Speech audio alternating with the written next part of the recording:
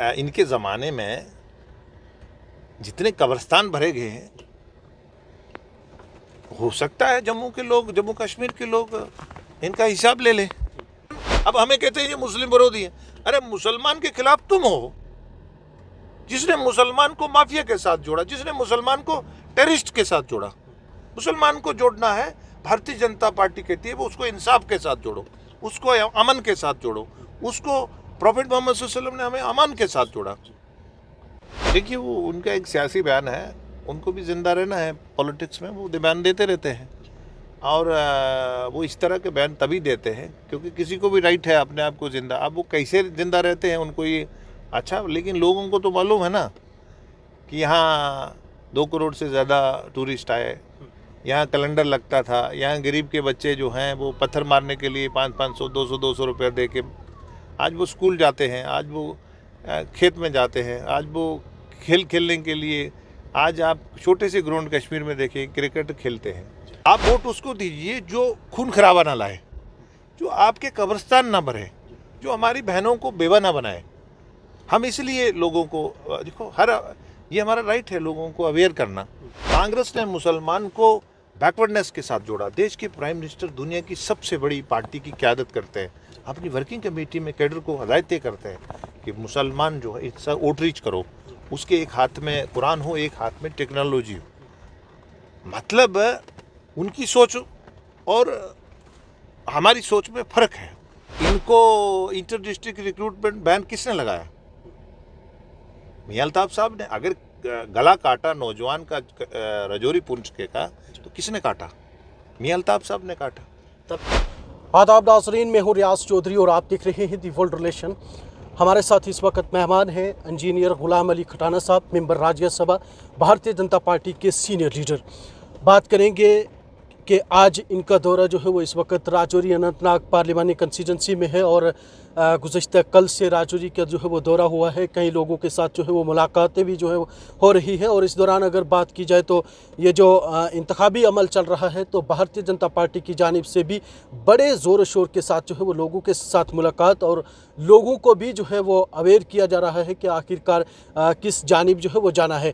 और साथ ही साथ में अ, जो इससे कबल सियासत रही है उसके ऊपर भी जो है वो तबादला ख्याल किया जाएगा। आने वाला लाएमल क्या होगा उसके ऊपर भी बातचीत जो है वो की जाएगी। सर, वक्त देने के लिए शुक्रिया। कैसे देखते हैं इस वक्त आप कल से जो है वो राजौरी पुंछ के टूर पे हैं और आज आपका दौरा पुंछ की जानब है। तो कल से जो मीटिंग का आगाज़ जो है जनाब ने राजौरी के अंदर किया है तो उसमें किस तरह की लोगों की जानब से जो है वो अमल आ रहा है?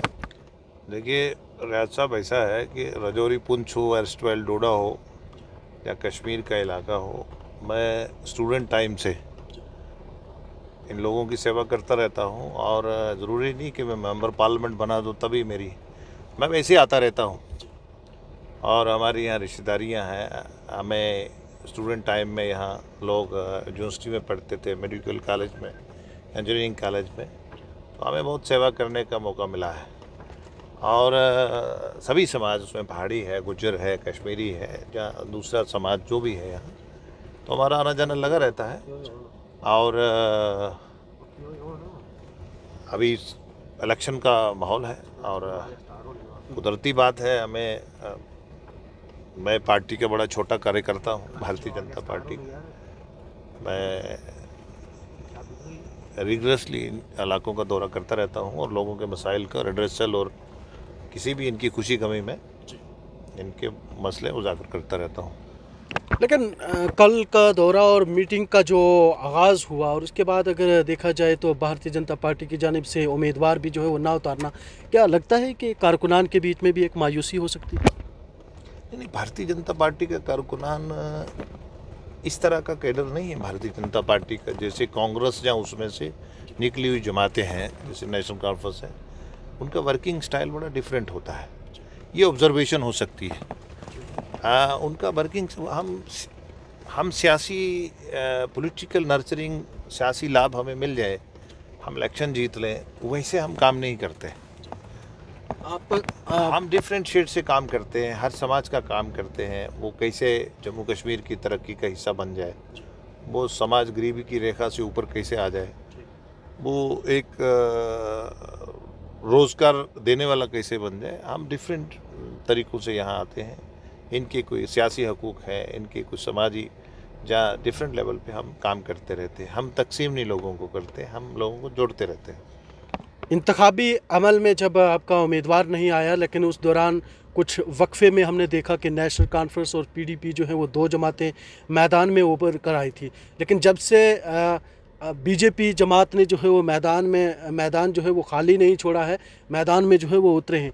तो लगता है कि नेशनल कॉन्फ्रेंस और पीडीपी के दरमियान जो पहले बयानबाजी और अब में कहीं ना कहीं बुखलाट तो नहीं हो सकता देखिए हम डेमोक्रेसी के परसों वोट अच्छा वोट पोल हुआ श्रीनगर में।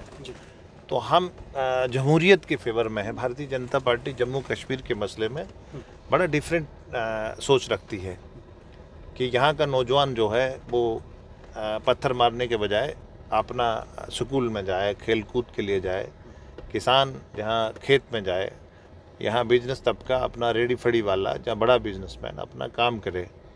और जो कश्मीर बेस्ड पॉलिटिकल पार्टीज़ हैं, जहाँ कांग्रेस है, उनका एक एहसाल करो, जेड प्लस प्लस में रहो, लोगों का एहसाल करो, और लोगों को तकसीम करो और हुकूमत करो, उनका अपना एक सोच था, सोच है, और इसी तरह करते हैं। हम इस तरह की सोच नहीं रखते हैं। हमने इन इन लोगों को उनको करारा तमाचा है। वो जो जब हम छोटी सी हमने ओबीसी का सर्वे करवाया कश्मीर में शुरू में ये बोलते हैं सियासी कोई चाल चल रहे हैं। हमने ओबीसी को सात परसेंट दे दिया। हमने सियासी रिजर्वेशन शेड्यूल ट्राइब गुजर बकरवाल को जहाँ पहले सिर्फ़ उसमें थी नौकरियों और उसमें प्रोफेशनल कॉलेजेस में वो भी कांग्रेस और नेशनल कॉन्फ्रेंस का उसमें कोई योगदान नहीं है। वो भी एक हमारी सपोर्टेड सरकार चंद्रशेखर की थी उस, उसने दिया था।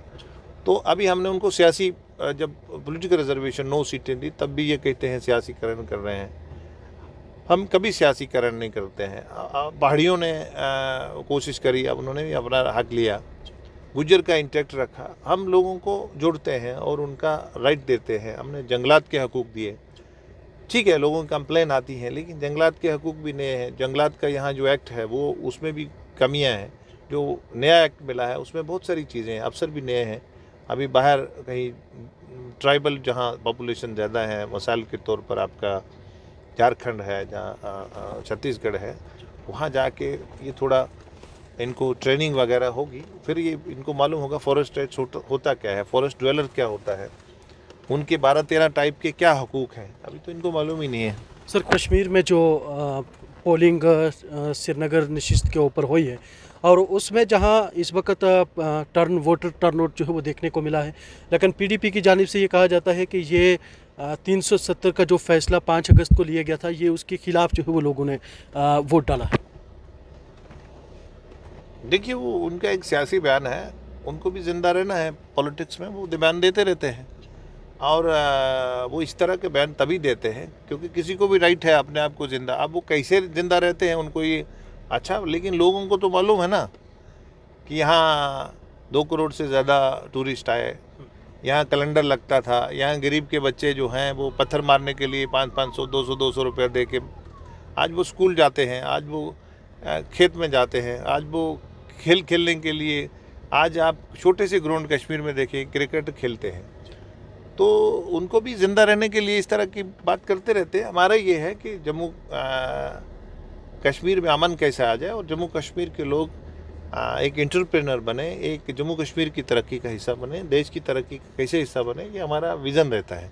सर जो भारतीय जनता पार्टी की जानब से पहाड़ी कम्युनिटी को उनको शेड्यूल ट्राइब देना और गुजर कम्युनिटी को भी जो है वो यकसा रखना। तो इससे इस इंतबी अमल में कितना फ़ायदा जो है वो भारतीय जनता पार्टी को मिलने वाला? मैंने कहा भारतीय जनता पार्टी कभी भी सियासी मकसद हासिल करने के लिए नहीं करती है। उन सोचों का उन पॉलिटिकल सोच का ये तख्लीक है जो लोग मैं आ, मैं पे रहते हैं। मैं बनूं। आपने देखा होगा अक्सर हम आ, हम नेशनल कॉन्फ्रेंस जमात का क्रिटिसाइज नहीं करते। हम उनमें दादा बाप फिर पोता फिर आगे बच्चा। क्या नेशनल कॉन्फ्रेंस में बाकी लोग नहीं है टैलेंटेड जो उसको उसकी क्यादत कर सके? हम इस चीज़ के खिलाफ हम ये नहीं कहते हैं कि एक फैमिली से दस लोग सियासत में क्यों हैं।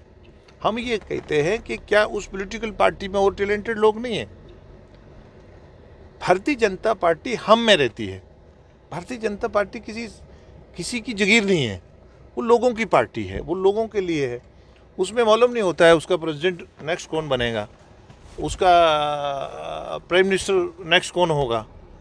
एक चाय बेचने वाला आम कार्यकर्ता दुनिया का पावरफुल। और देश, दस साल कांग्रेस की एक उम्मत रही डॉक्टर मनमोहन सिंह। जी हालाँकि बड़े एक विजनरी और एक बड़े वो थे। प्राइम मिनिस्टर लेकिन हमारी इकोनॉमी ग्यारह नंबर पे थी, ग्यारहवें पे रही। देश के वज़ीर अजम नरेंद्र मोदी जी बने, वो पाँचवें नंबर पे ले आए।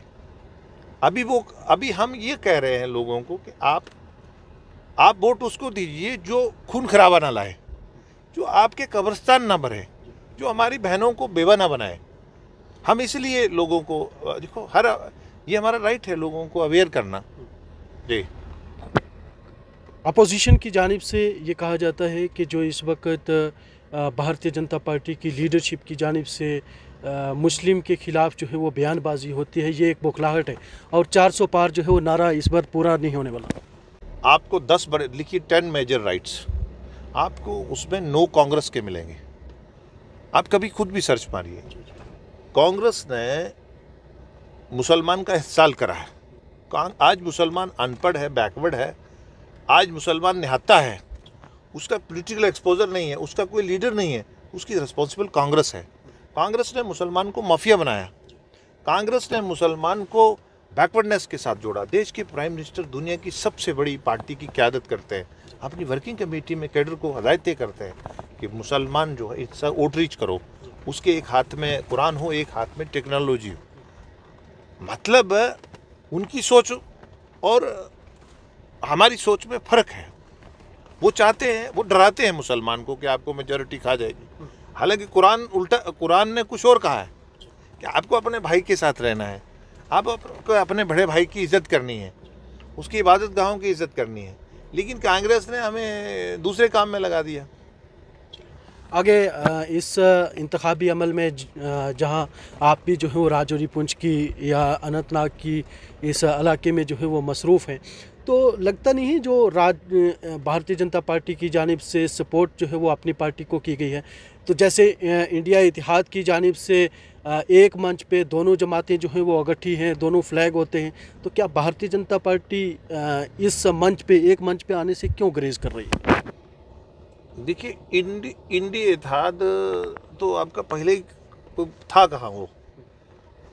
मतलब आप जम्मू कश्मीर की उसमें बात करें मतलब नेशनल कॉन्फ्रेंस भी इलेक्शन लड़ रही है पीडीपी भी लड़ रही है। इतिहाद तो फिर क्या डेफिनेशन है वो? फिर मैं जाता हूँ मेरा दिमाग कम है तो क्या डेफिनेशन वो वो वो वो एहसाल करते हैं। हाँ। जितने लोग नेशनल कॉन्फ्रेंस ने मारे हैं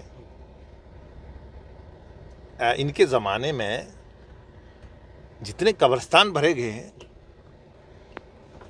हो सकता है जम्मू के लोग जम्मू कश्मीर के लोग इनका हिसाब ले ले। जो उन्होंने कैंडिडेट जहाँ उतारा है नेशनल कॉन्फ्रेंस ने, उसने, अब मुझे बताइए, पहले एसटी था गुजर बकरवाल को 40 परसेंट आबादी थी। आपने देखा कि दलित का सात परसेंट, उसने कश्मीर के दस जिलों में अपना सात परसेंट हिस्सा लिया, जम्मू के बाकी जिलों में लिया। इनकी आबादी चालीस परसेंट और इनको इंटर डिस्ट्रिक्ट रिक्रूटमेंट बैन किसने लगाया? मियाँ अल्ताफ साहब ने अगर गला काटा नौजवान का रजौरी पुंछ के का तो किसने काटा? मियाँ अल्ताफ साहब ने काटा। तभी आज जब वो इंतबी अमल में आए हैं लोग खिलाफ भी नहीं लोग बेसिकली क्या है कि ये हाथी के दांत खाने की ओर और दिखाने की ओर है। मेरा कहने का मतलब है कि गरीब के घर में सौ रुपये का कंबल नहीं है। मियाँ अल्ताफ के घर में पाँच पाँच लाख का कारपेट कहाँ से आए हिसाब देना पड़ेगा ना लोगों को। वक्त आ रहा है। इस देखिए, हम भारतीय जनता पार्टी ये सोच रखती है। हमने यहाँ आयुष्मान भारत लाया। मतलब जम्मू कश्मीर ही एक ऐसा इलाका है जिसमें मजदूर से और महबूबा मुफ्ती और उमर अब्दुल्ला, फ़ारूक अब्दुल्ला तक सबको पाँच लाख फ्री है। देश का कोई स्टेट और ऐसा नहीं है। अभी प्राइम मिनिस्टर ने इस मैनिफेस्टो में हमने कमिटमेंट करी है कि 75 साल से ऊपर जो देश में हैं, उनको हम ये देंगे सुविधा। लेकिन जम्मू कश्मीर मुस्लिम, अब हमें कहते हैं ये मुस्लिम विरोधी है। अरे मुसलमान के खिलाफ तुम हो। जिसने मुसलमान को माफिया के साथ जोड़ा, जिसने मुसलमान को टेररिस्ट के साथ जोड़ा, मुसलमान को जोड़ना है, भारतीय जनता पार्टी कहती है वो उसको इंसाफ के साथ जोड़ो। उसको अमन के साथ जोड़ो। उसको प्रॉफिट मोहम्मद ने हमें अमन के साथ जोड़ा। इसने हज़ारों बच्चे जो रजौरी और पुंछ के हैं इन्होंने उनका इस्तेसाल करा है इनको गुजर और पहाड़ी में लड़वाया है। और अगर नेशनल कॉन्फ्रेंस की आप बुनियाद देखें जब मुस्लिम कॉन्फ्रेंस से नेशनल कॉन्फ्रेंस की बुनियाद डाली गई तो किस बुनियाद पे डाली गई? अ, जम्मू का मुसलमान इसको लीडर नहीं मानता था शेख अब्दुल्ला को। और नेहरू ने इसके खिलाफ डाली। और उसकी बुनियाद ही मुसलमान के नॉन कश्मीरी स्पीकिंग मुसलमान के खिलाफ पड़ी। नॉन कश्मीरी स्पीकिंग मुसलमान में कौन था? खान था पठान था सैयद था गुजर था जाट था। कौन लोग थे? बकरवाल था। अगर सियासी अगर सियासी और उनको लड़वाया ये हुकूमत कैसे करते थे? जम्मू और कश्मीर में गैप खाई डाल दो। जम्मू और कश्मीर में खाई डाल दी। लोग उसी खाई में मखालफत में बिज़ी रहे और ये एंजॉय करते रहे। ये पैसे को डाइवर्ट करके टेक्निकल एयरपोर्ट का बिल बनाते रहे।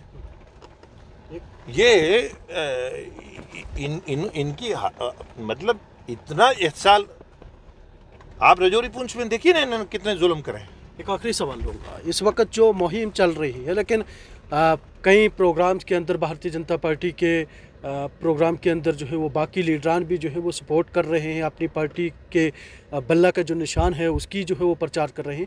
लेकिन रविंदर रैना साहब का एक अभी बयान जो है वो वाजह तौर पे पब्लिक के बीच में नहीं आ रहा है मीडिया इंट्रैक्शन में जो है वो नहीं आ रहा है। वो कहते हैं ईमानदार शख्स को वोट दो।